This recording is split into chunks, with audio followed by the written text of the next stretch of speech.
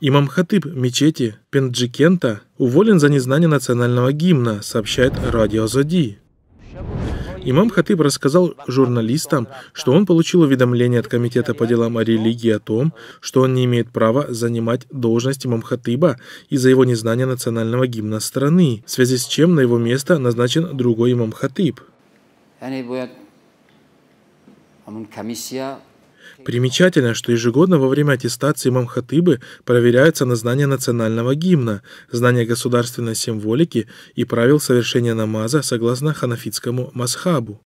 Да, сначала тестируем на знание гимна и государственной символики, потому что имамы являются госслужащими и должны это знать.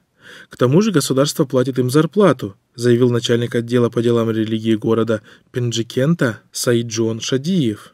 Напомним, что в Таджикистане имам Хатыба назначается Советом улемов по согласованию с Комитетом по делам религии и получает зарплату от государства в районе 1000 сомани, что приблизительно равняется 100 долларам США.